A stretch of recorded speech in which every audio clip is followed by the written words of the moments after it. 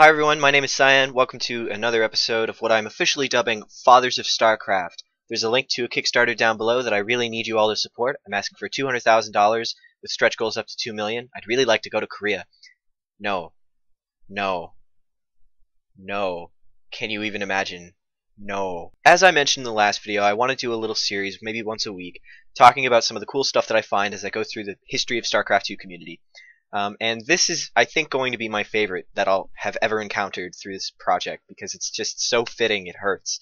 Um, so one of the very first pages that I could access on TL, the very first page actually, has a link to a thread talking about when StarCraft is going to die. And I think that's really hilarious. I think that's just so fitting. And it's so optimistic. It's, oh, I love it. So let's look at this thread. So this is the thread. This is one of the oldest threads that I could access on Team Liquid through the Wayback Machine.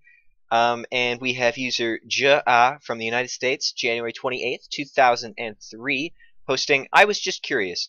How much longer do you guys think StarCraft will be around? Do you think there's any variables that will do with its existence? I think it will be around for years to come. Happy emoticon. Look at how optimistic this guy is. It's so great. And then the next user that posts is user no name, who says, I agree, StarCraft forever. What would really give StarCraft a boost is if Blizzard took a more active role in updating it. And then the rest of what he says really doesn't matter. But look at how perfect this is. Look at how full circle the scene has come. Like, apparently, StarCraft's problem has always been to some degree, Blizzard taking a more active role in updating the game. And you know what? After all the years of LOL dead game, hashtag dead game, save hots, oh my god, this is really optimistic to me. I, I think that these happy people posting back in 2003 about StarCraft Brood War are just a really big breath of fresh air. And look at how long that game lasted afterwards. You know, after 2003, it had so many years left in the tank. And it's just it's just nice to see this kind of optimism back in the day and we have the same problems now we're so pessimistic as a scene i don't know i, I think that i i just really think it's funny um, but anyways uh, liquid nazgul actually chimes in on this thread and he says as long as starcraft pro gaming lasts in korea another one to two years minimum i think in 2003 nazgul said in 2003 nazgul said one or two years minimum it lasted a lot longer than one or two years, I'm happy to say. Uh, and then again, part of the reason why I loaded this in Team Liquid as opposed to the Wayback Machine, the thread got bumped in 2010. User Rift said, still going strong with a smiley face. And there are some other comments and things. Um, and InControl actually comments on this post. And uh, he doesn't really say anything relevant. Sorry, InControl. But I think it's just the funniest thing to look at this thread and to see the things that these people are talking about and to know that you know what we're having kind of the same problem right now with StarCraft. In 2015, maybe we're not so different a scene as we were in 2003. And I think that's a really optimistic thing to just keep in mind.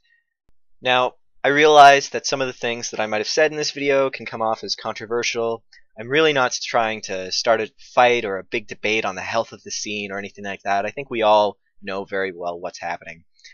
But I want to be optimistic about StarCraft 2. There's no game in the world, there's never been a game quite as beautiful as StarCraft 2 in viewership experience, in gameplay, in every way, in strategy. Everything about StarCraft 2 is just the most awesome thing. StarCraft 2 has so much left in the tank, it has so much left to offer. We're not going anywhere anytime soon. I think our community is great. Um, it might not be the most thriving thing right now, but and it may it may never be again. I don't know. I'd like it to be though. I'd be really happy if it was, and I think we can get there. I believe.